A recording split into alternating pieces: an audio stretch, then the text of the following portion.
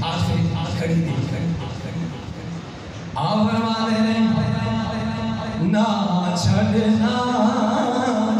छड़े